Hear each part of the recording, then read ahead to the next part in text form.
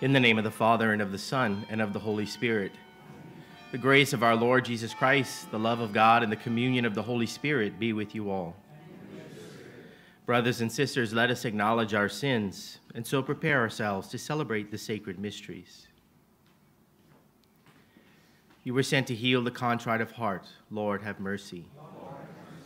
You came to call sinners. Christ, have mercy.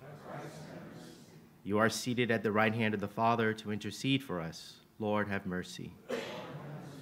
May Almighty God have mercy on us, forgive us our sins, and bring us to everlasting life.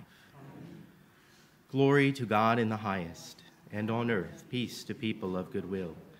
We praise you, we bless you, we adore you, we glorify you. We give you thanks for your great glory.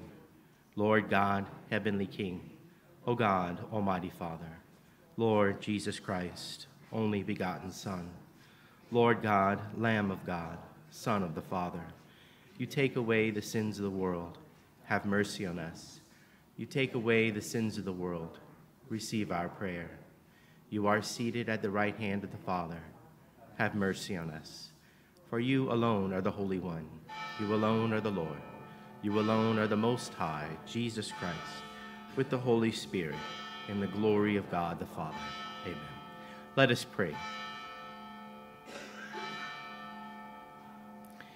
Grant, we pray, Almighty God, that the newness of the nativity in the flesh of your only begotten Son may set us free. For ancient servitude holds us bound beneath the yoke of sin. Through our Lord Jesus Christ, your Son, who lives and reigns with you in the unity of the Holy Spirit, God forever and ever. Amen.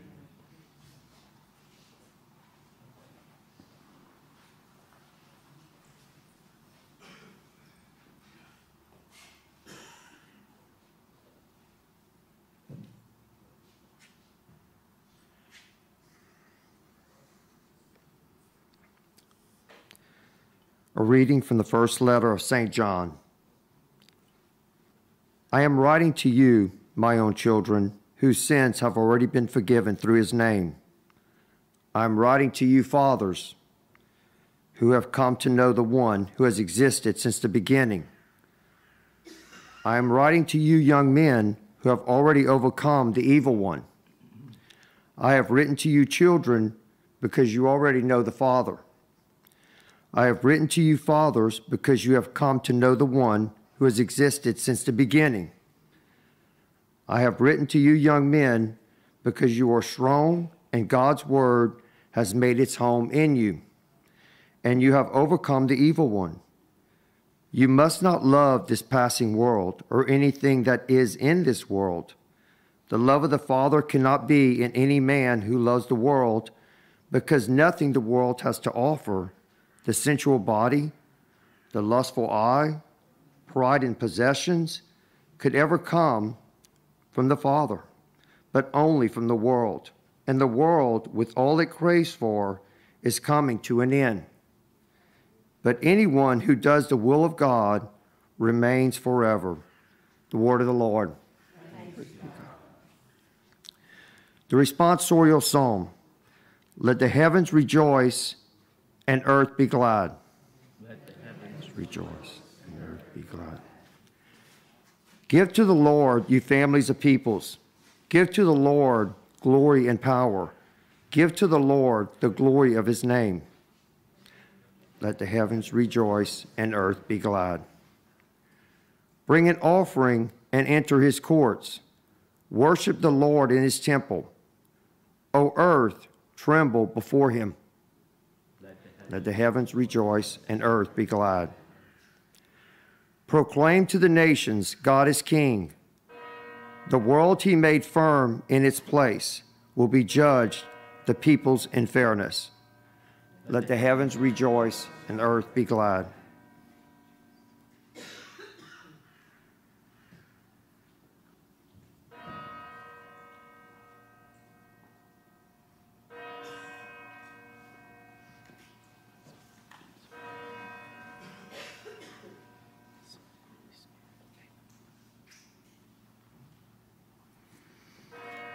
Alleluia, alleluia.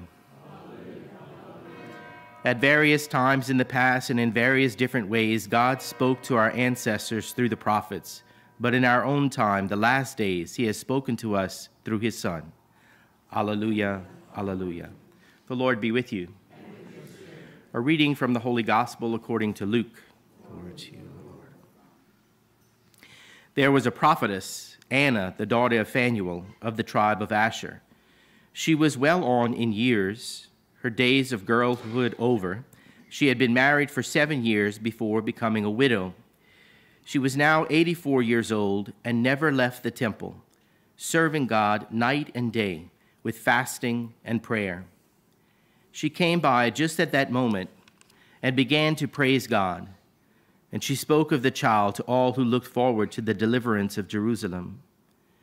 When they had done everything the law of the Lord required, they went back to Galilee to their own town of Nazareth. Meanwhile, the child grew to maturity, and he was filled with wisdom, and God's favor was with him. The Gospel of the Lord.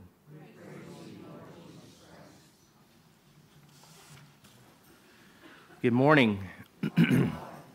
In today's gospel, we have the prophetess Anna, who, like Simeon, was one of the few who recognized the Messiah in the child Jesus as he was presented by Mary and Joseph in the temple.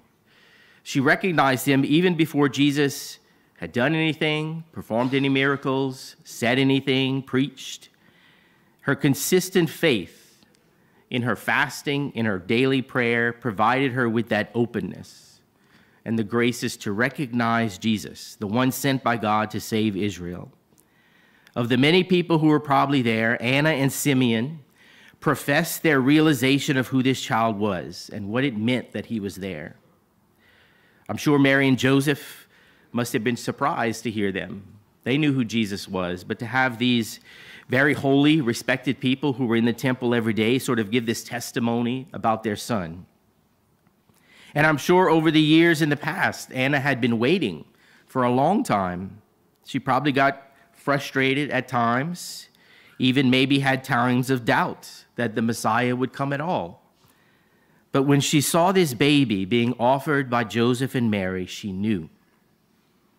She had, over those years, in her prayer and in her fasting, she had established this relationship with God so that when the time did come, she didn't miss what was right in front of her the Messiah that she had been waiting for even though he came in the, in the form of this little baby. Probably not what people were expecting in the Messiah. They expected a soldier, a warrior to come. But here comes the Savior in the form of a child. But her faith and her close relationship with God uh, made her know God better, and it can be the same for us. Our faith and our relationship with Him help us to recognize Him when He's working in our life when he's revealing himself to us.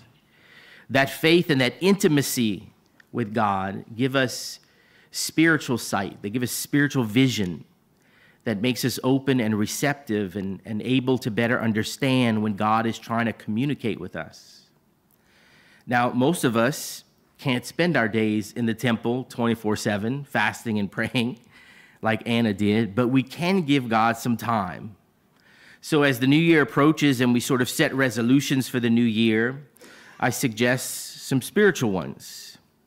Every day, start with a morning offering, whatever form that means to you, a brief time of prayer to just ask God to be with you in this day, a day that we only have because of his generosity and his mercy, right?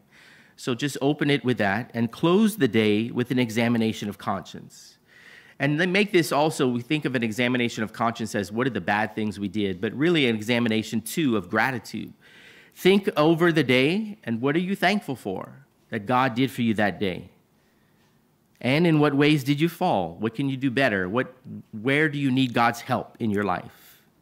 And then at least once a month, as often as you need to, bring those sins to the sacrament of confession and receive God's gift of forgiveness and mercy. Two simple ways to try to be open and available to God's grace. I was thinking, I don't know if this ever happened to y'all, but especially when I'm shopping for a certain vehicle and I think, oh, I like this white truck. And then I start driving around and I see all these white trucks. You know, it's like, wow, I got a lot of them. I didn't even notice that before. But it's only because my perception has changed and I'm paying attention to that particular thing. So opening ourselves up to God, you know, starting the day with the expectation that He's going to reveal Himself in some way that day will make you recognize Him in ways that you didn't know before. So start your prayer with that. And really, the goal, the, the, uh, the real message of today comes from the first reading, I think. Uh, don't look just to the world with all it craves for. The world is coming to an end. But anyone who does the will of God remains forever. Amen.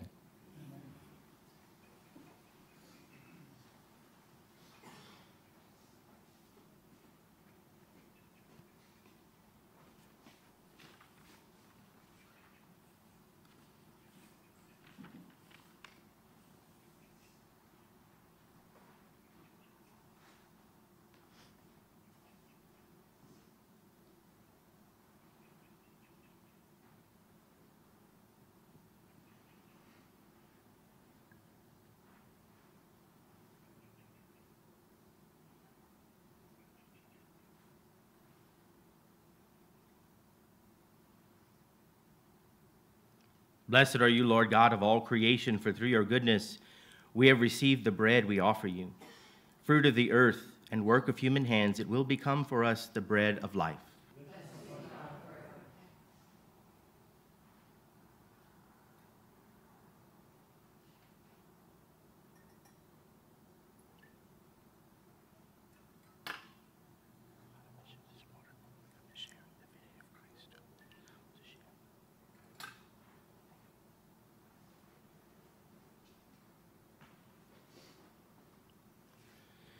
Blessed are you, Lord God of all creation, for through your goodness we have received the wine we offer you. Fruit of the vine and work of human hands, it will become our spiritual drink.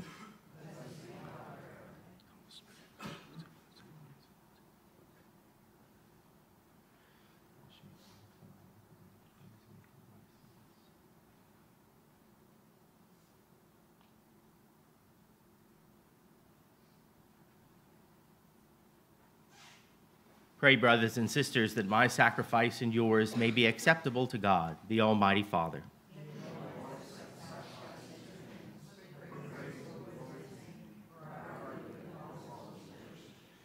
Receive with favor, O Lord, we pray, the offerings of your people, that what they profess with devotion and faith may be theirs through these heavenly mysteries, through Christ our Lord.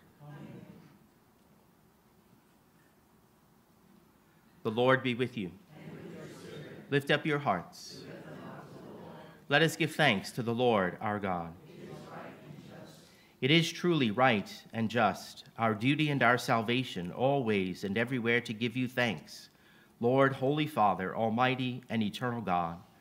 For in the mystery of the Word made flesh, new light of your glory has shone upon the eyes of our mind, so that as we recognize him in God made visible, we may be caught up through him in love of things invisible.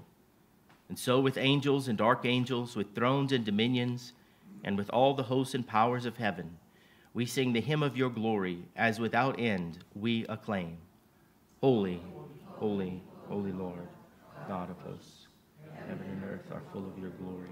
Hosanna in the highest. Blessed is he who comes in the name of the Lord. Hosanna in the highest.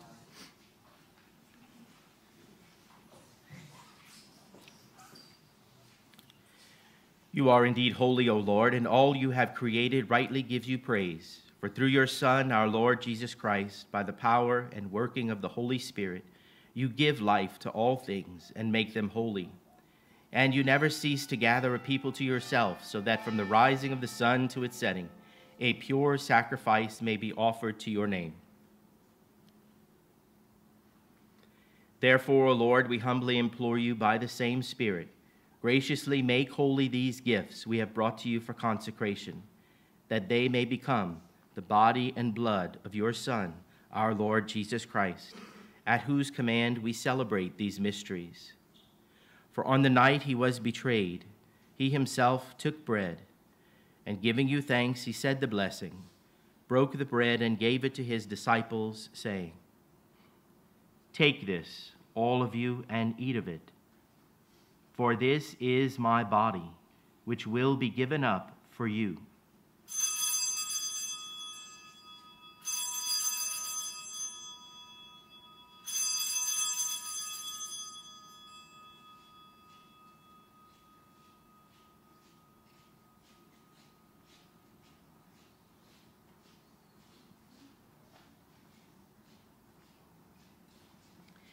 In a similar way, when supper was ended, he took the chalice.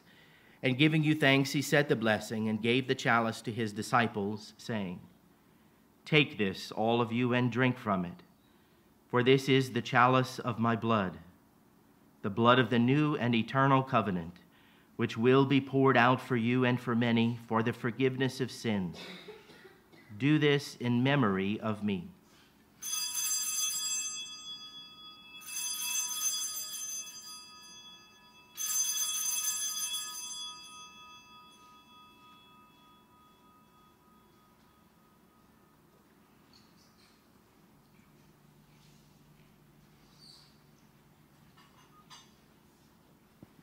The mystery of faith.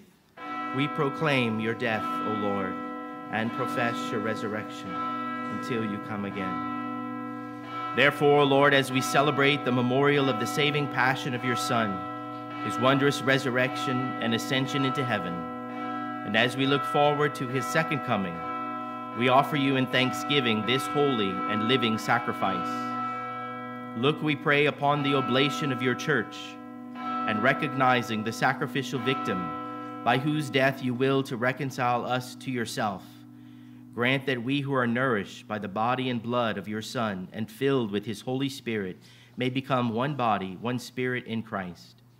May he make of us an eternal offering to you, so that we may obtain an inheritance with your elect, especially with the most blessed Virgin Mary, Mother of God, with blessed Joseph, her spouse with your blessed apostles and glorious martyrs, and with all the saints on whose constant intercession in your presence we rely for unfailing help. May this sacrifice of our reconciliation, we pray, O Lord, advance the peace and salvation of all the world. Be pleased to confirm in faith and charity your pilgrim church on earth, with your servant Francis, our Pope, the bishop of this diocese, the order of bishops, all the clergy, and the entire people you have gained for your own. Listen graciously to the prayers of this family whom you have summoned before you. In your compassion, O merciful Father, gather to yourself all your children scattered throughout the world. To our departed brothers and sisters, and to all who were pleasing to you at their passing from this life, give kind admittance to your kingdom. There we hope to enjoy forever the fullness of your glory, through Christ our Lord, through whom you bestow on the world all that is good.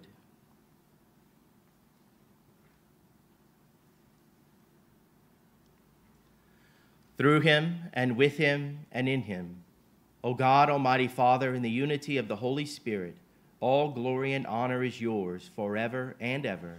Amen.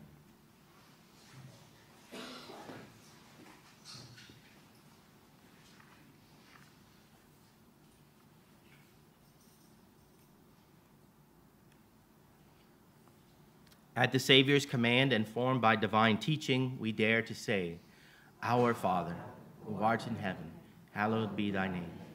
Thy kingdom come, thy will be done, on earth as it is in heaven. Give us this day our daily bread, and forgive us our trespasses, as we forgive those who trespass against us. And lead us not into temptation, but deliver us from evil. Deliver us, Lord, we pray, from every evil. Graciously grant peace in our days, that by the help of your mercy we may be always free from sin and safe from all distress, as we await the blessed hope and the coming of our Savior, Jesus Christ.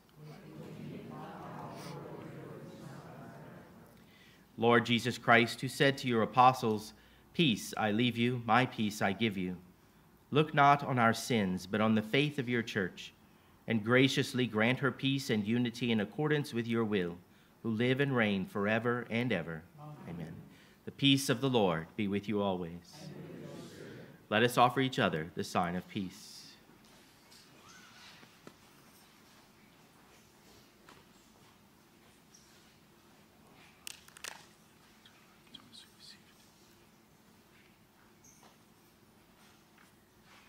Lamb of God.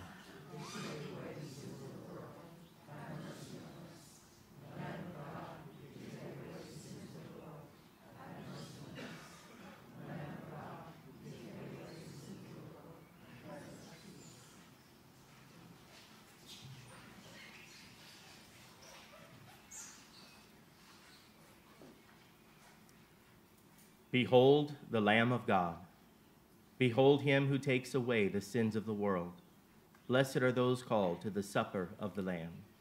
Lord, I am not worthy that you should enter into my home, but only say the word, my soul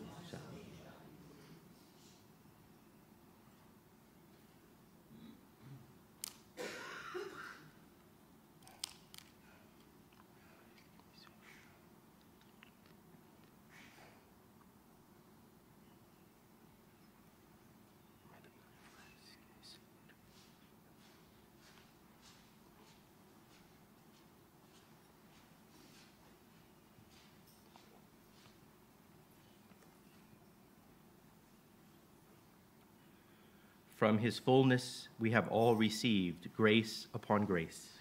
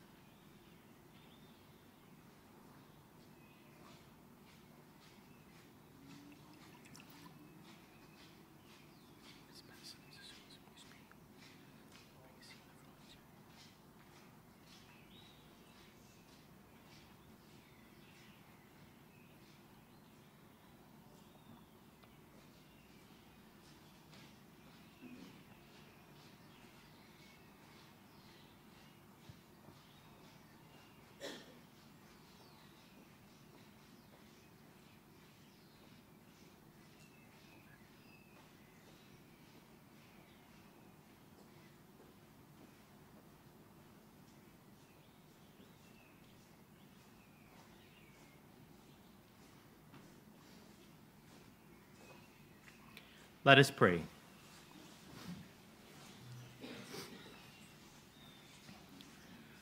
O God, who touch us through our partaking of your sacrament, work, we pray, the effects of its power in our hearts, that we may be made fit to receive your gift through this very gift of it itself, through Christ our Lord. Amen. The Lord be with you. May Almighty God bless you, the Father, and the Son, and the Holy Spirit. Amen. Go in peace.